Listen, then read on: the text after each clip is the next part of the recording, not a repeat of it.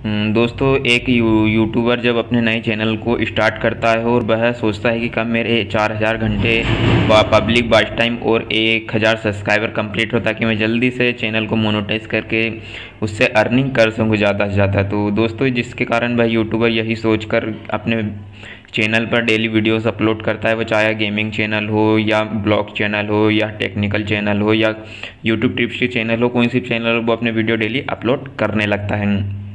और जब उसकी पब्लिक चार हज़ार पब्लिक वॉच टाइम कंप्लीट हो जाता है और एक एक हज़ार सब्सक्राइब कंप्लीट हो जाता है तो वह अपने चैनल को मोनोटाइज के लिए अप्लाई करता है। मोनोटाइज अप्लाई करते समय वो एडसिन अपना बना लेता है और बहुत ही खुश होता है कि अब मेरा चैनल चैनल मोनोटाइज होने वाला है, अब मुझे भी पैसे मिलेंगे। परंतु जब वह रिव्यू में चौबीस अड़तालीस घंटे में उसको आंसर मिलता है, वैसे तो हम रिव्यू में जब हमारा चैनल जाता है तो हमें हमें बोला जाता है कि एक महीने का टाइम लगेगा, परंतु चौबीस से अड़तालीस घंटे में वह हमें रिप्लाई दे देते हैं और हमें ऐसा लिखा आता है कि रीयूज़ कंटेंट या आपके कॉपीराइट स्ट्राइक है या फिर वार्निंग है, कुछ भी करके वह हमारे चैनल को मोनेटाइज नहीं करते, हमारे चैनल में कोई प्रॉब्लम रहता है और हमें पता नहीं रहता है।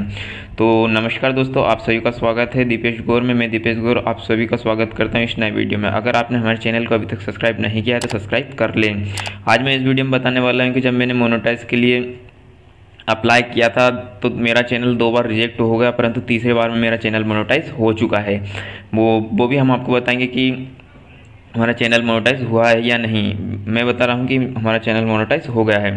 तो हम आपको बताने वाले हैं कि हमारा दो बार रिजेक्ट क्यों गया यूट्यूब तरह से हमारे चैनल मोनोटाइज के लिए जब हमने अप्लाई किया तो उसे रिजेक्ट क्यों कर दिया गया। मैं आपको वो मेल भी दिखाऊँगा, मैंने कब अप्लाई किया था और कब मेरा रिजेक्ट हुआ था। तो चलिए इस वीडियो को स्टार्ट करते हैं।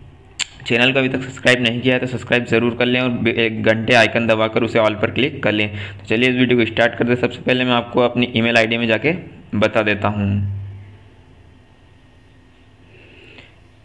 तो दोस्तों, हम यहाँ पर हमारी ईमेल में गए और हम यहाँ पर सर्च करेंगे यूट्यूब प्रोग्राम यूट्यूब प्रोग्राम पर हम जैसे ही सर्च करेंगे, कुछ देर लोडिंग लेने के बाद हमारे सामने कुछ इस प्रकार का इंटरफेस वो हो चुका था। तो पहले हमने ये देखिए, हमारे पास दो बार अप्लाई फॉर मोनोटाइज का ऑप्शन आ गया था। जब हमारे चार हज़ार घंटे वाच टाइम में एक हज़ार सब्सक्राइब पूरा हो गया था। पहली बार ऑप्शन आया था जब हमारे कुछ वाच टाइम घट गया था, इसलिए हम अप्लाई नहीं कर पाए। दूसरी बार हम अप्लाई किया, जब ये मैसेज आया था, हम इसे बता देते हैं आपको।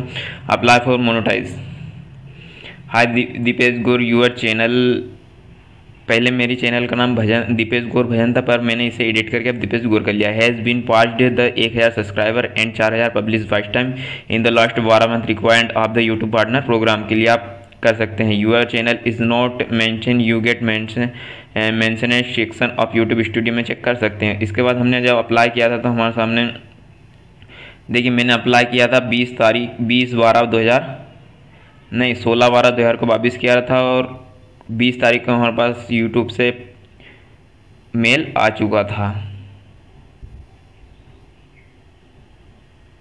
Your channel is not approved for the YouTube partner program learn how to apply हमारे, हम, हमारे चैनल में ऐसा मैसेज आ गया था तीन दिन बाद ही कि आपका चैनल मोनिटाइज नहीं होगा। वो भी तीन दिन का टाइम इसलिए किया था। मैंने शनिवार को अप्लाई किया था तो रविवार के दिन छुट्टी, अवकाश का दिन रहता है, इसलिए हमारे चैनल को सोमवार के दिन अप्लाई उन्होंने मेल भेजा था। तो इसमें आया था thank you for applying to the YouTube partner program to enable inability your application और your term क्रिएटफुल receive your channel Deepesh Gaur Bhajan ये देखिए, ये ऐसा बता दिया था रीयूज कंटेंट के कारण।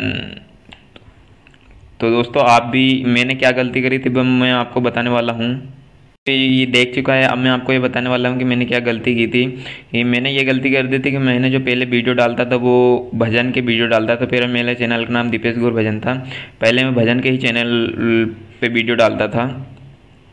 भजन की वीडियो डालने से मैं मैं भजन ऐसे रिकॉर्ड नहीं करता था। मैं सिर्फ़ गूगल से डाउनलोड कर लेता तो मुझे ये पहले ये नॉलेज नहीं था कि भजन पे कॉपीराइट आएगा या नहीं तो मैं दूसरी साइट से भजन डाउनलोड करके उन एडिट करके यूट्यूब पर डाल देता, परंतु वहाँ पर कोई कॉपीराइट स्ट्राइक नहीं होती। जब हम, जब हमारे चार हज़ार घंटे बस टाइम कंप्लीट हो जाते हैं तो यूट्यूब जब बारीकी से चेक करता है तो वह देख लेता है कि यह जो सॉन्ग इन्होंने डाले हैं, ये दूसरे के हैं या कॉपीराइट स्ट्राइक है, पर हमें दिखती नहीं, हम चेक करते हैं स्टूडियो में। तो हमारे चैनल को बहुत ही बारीकी से चेक किया जाता है वहाँ पर, और उन्हें कोई भी जरा सी भी प्रॉब्लम दिखती है तो वो हमारे चैनल को रिजेक्ट कर देते हैं यूज़ कंटेंट के कारण। तो दोस्तों, भी आज आपसे भी हाथ जोड़कर विनती है कि आप भी दूसरे के वीडियो बिल्कुल मत डालिएगा, और खुद के ही वॉइस वाले वीडियो डालिएगा, ताकि आपकी चैनल भी जल्दी से मोनोटाइज हो जाए और आप भी अर्निंग कर सकें। इस वीडियो में इतना ही। नेक्स्ट वीडियो लेकर आपके साथ जल्द मिलेंगे। तब तक के लिए शुक्रिया। आप हमारे चैनल को सब्सक्राइब ज़रूर करिए वीडियो अच्छा लगे तो वीडियो को लाइक कमेंट शेयर ज़रूर करिएगा धन्यवाद।